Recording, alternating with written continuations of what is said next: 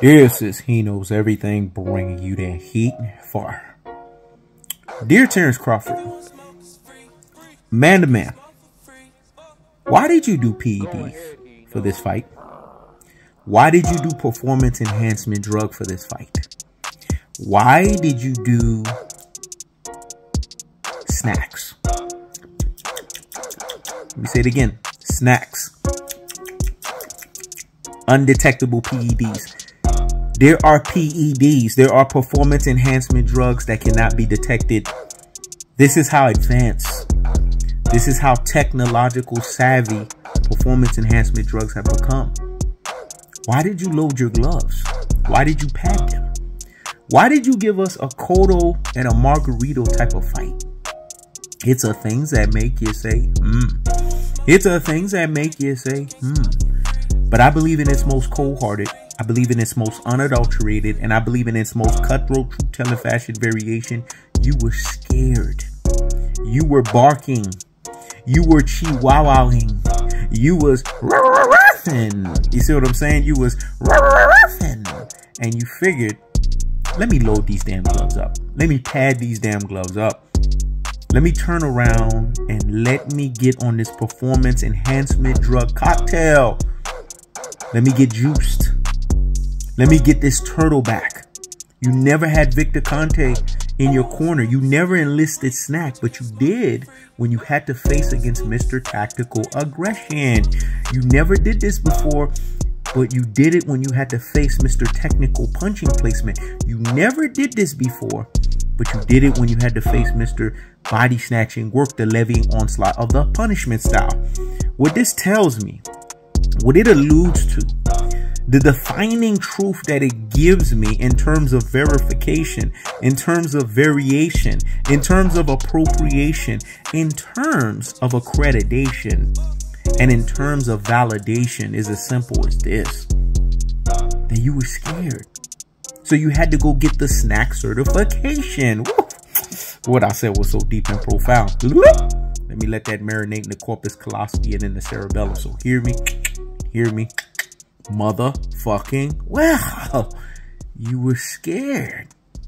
So you had to go get that snack certification because you understood that was the only way you were going to be certified against the Megalodon shark. Just finished watching the movie Meg 2 and it was very clear. Go a ahead. Megalodon shark has no predator. It is the predator. But Errol Smith became a prey to your predator when we know you are a barking chihuahua and you see what I'm saying? The chihuahua wasn't coming out because that's how scared you were leading up to this fight. Even you knew that. That's why you enlisted the most illegal substance banned doper in the business in Victor Conte because you understood that your fate was going to be tactically aggressed that your fate was going to be technically punching placed, that your fate was going to be body snatching worked. You didn't want to deal with a levying onslaught. You didn't want to deal with a conglomeration of punishment. You didn't want to deal with a stimulus package of punishment. You didn't want to deal with punishment nevertheless. You didn't want to be on the side of fate of punishment on the menu during the beginning and after. You didn't want to face that. You wanted to be on that side of things. So you supersized yourself. You supersized me. You know, there's a movie called Supersize Me. Not the bad variation to where cholesterol levels, to where high blood pressure, to where motherfuckers getting fat. No, you supersized yourself to where now you are more muscular, to where now you put on an extra 30 pounds. You never had punching resistance like that. So, dear Terence Crawford, why did you become a cheater? Your legacy now is stained. It was already Chihuahua barking. So now it is non-credible.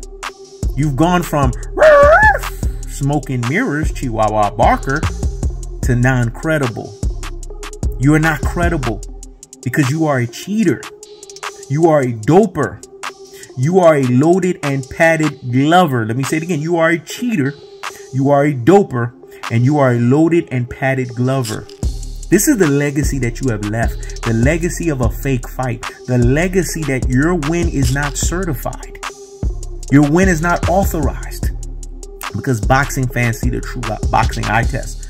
Boxing fans are basically disturbed in their spirit because their spirit is telling them there's no way that you won that fight. You want to know why? They came to that conclusive state, why they came to that resolute state, why they came to that finality state, why they came to the totality state, because they understand that Errol True Spence is durable. Errol True Spence is built too big, too durable, and too for tough. But then you make him start bleeding, splatting blood out in the ring in the first round doing things that fighters have never done before, things that you have never been documented being able to do against fighters, neurological supposedly damage. It's a things that make you say, hmm. It's a things that make you say, hmm. So, dear Terence Crawford, you ain't got to worry about he knows everything. You ain't got to worry about everybody else. You have to look at your rabbit ass self in the mirror. Be honest. Tell the boxing community that they're living in an illusion, they're living in a matrix, and that you were on loaded and padded glove style, and that you cheated, and that you took the snack cocktail. This was the only way that you were gonna win a bullshit and a fuck shit cockamamie fight. That's the cold hearted. That's the unadulterated. That's the cutthroat true fashion. I keeps the foot on the what on the. I keeps the foot on the what on the the. Terence Crawford, you should be ashamed of your rabbit ass self. And if I was you, be honest, come out of this clean, and tell Omaha, Nebraska that you are a doper, you are a cheater, and you are a loaded and a padded glover. Ira keeps the foot on the what on the dicks. Ira keeps the foot on the what on the dicks. Terence Crawford, stop the presses and pump the brakes on the nonsense and go sit down somewhere and what? You get the biggest higgity fucking hush of the damn day. This is He Knows Everything. Check it out.